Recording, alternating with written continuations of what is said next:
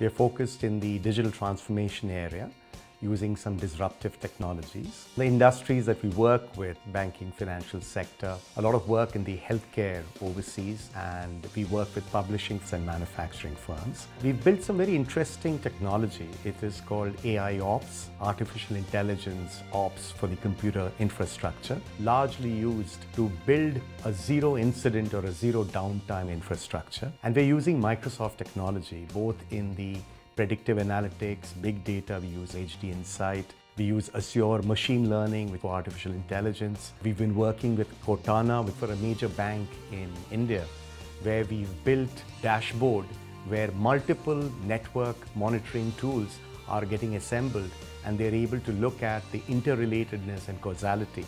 And we're also able to do some prediction of the downtime of the system. And the CIO can directly talk to the system and it gives out data. Within Microsoft, the partnership that we are seeing has been very, very strong. There's a genuine authenticity to it. Our product is using a lot of Microsoft ready-made industry-led solution for some quick solution in the blockchain and the GDPR area.